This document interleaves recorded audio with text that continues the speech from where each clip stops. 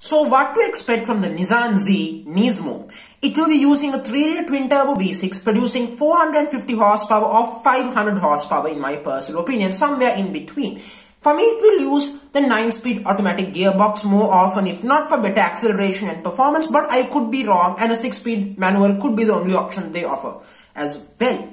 Now, in terms of styling, I think the exterior, exterior will be more sportier, more brutish, more brutal and more aggressive. And the interior, I don't see too many changes at all. Maybe small interior tweaks in my personal opinion. Now, does this mean that the Nissan Z, Z Nismo is better than the Supra? Well, my answer is yes. For me personally, the current Z is better than the Supra. And there's no question about that in my personal opinion. So I think this this Nismo version will only make it better. Again, these are my personal estimations, nothing confirmed officially. These are my personal take. And these are based on the new spy shots and spy images on the new Nissan Z Nismo.